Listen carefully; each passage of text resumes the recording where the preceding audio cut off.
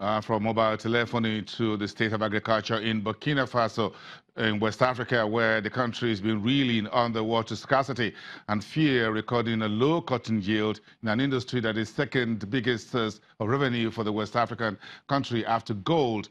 Cotton production in Burkina Faso has been on the decline since 2017 due to a variety of factors, including pest attacks, poor rainfall, as well as a reduction by the government uh, moving to phase out production of genetically modified cotton seeds.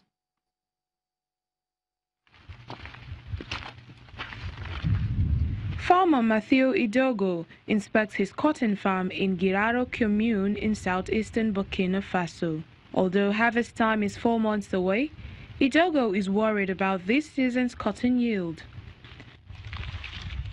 Burkina Faso is one of six countries in the Sahel that has been hard hit by dry spells that decimate farmers' crops and livestock. Dogo, who has been farming for 20 years, says he fears this year's yield may be the worst yet, saying his cotton revenues have been slashed in the last year from 668,500 CFA francs against 1.5 million CFA francs from the previous year. Cotton producers are worried and anxious about the future. Those of us who depend on rain-fed agriculture, the anxiety is there. Because we are not sure if there will be more rain or less rain. We are really exposed by this problem.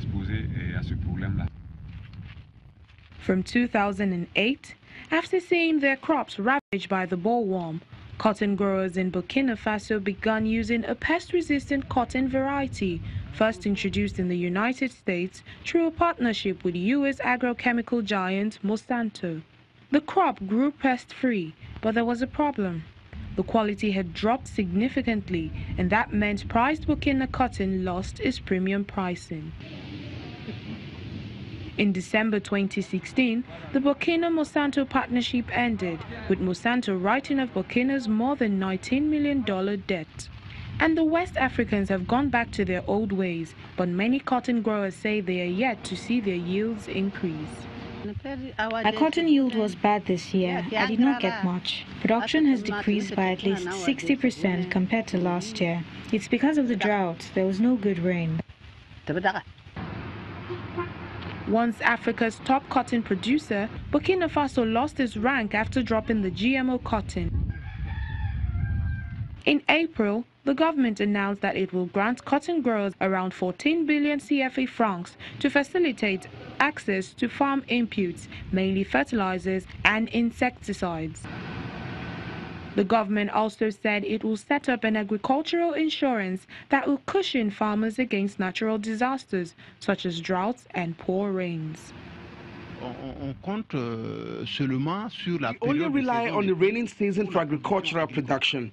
And if we have long droughts in the three or four months of the raining season, it really affects agricultural productivity.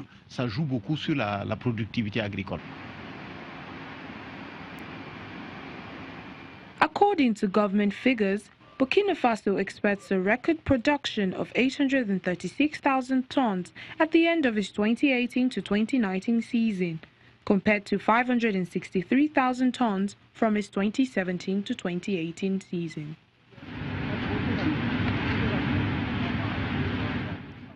Let's finish off from the oil market where traders are nervous at the moment as a raft of import tariff fight between the U.S. and China is already taking place. Right now, the U.S. crude for August 2018 delivery is trading $72.32, down 0.85%. Brent crude benchmark September 2018 delivery now trading $76.62 a barrel, about 1.01% uh, on the market. Everyone is uh, bracing for the impact of the U.S.-China trade dispute. And of course, we have the rise in U.S. crude inventories of 1.2 million barrels this week to June 29, 417.88 million barrels was what we have on the radar.